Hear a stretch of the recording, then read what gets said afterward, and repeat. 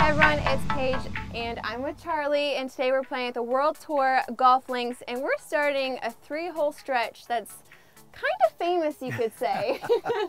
well, Amen Corner technically is the second half of 11, 12 and 13 at Augusta National and uh, these are uh, replica holes of Augusta National and um, Paige, I, I, think it's the greatest three-hole stretch in the world. It's um, beautiful, certainly, mm. uh, but but it's also very strategic.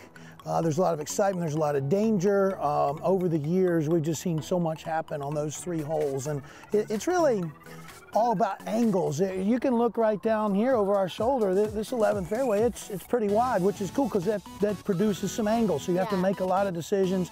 Um, I've got a picture at home on my uh, desktop on my computer and, and 11 green's really close to 12 green and the flag on 11 was blowing towards me and the flag on 12 was blowing the other direction. Yeah. So 70 yards apart, the wind swirls and, and that's what makes those uh, three holes so incredibly difficult. It's trying to figure out what in the world the wind's doing. And then of course you're feeling pretty nervous when you're playing them too, but uh, absolutely love them. I, it, by far the, the, the, best three hole stretch in the world. Well, you said you played there quite a bit. This, this will be, I guess, my first time All right. the three hole stretch, so I'm excited.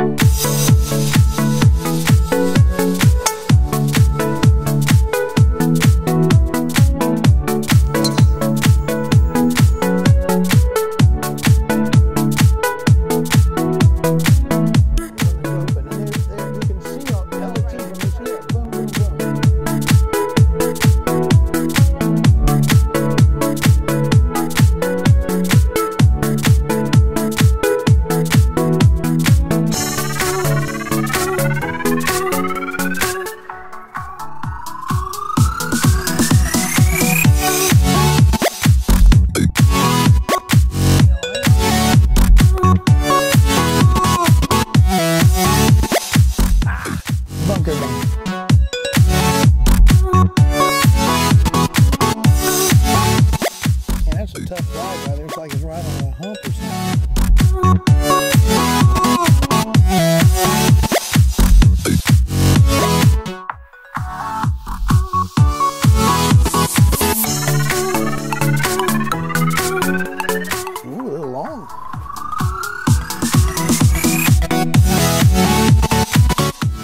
playing three-putt.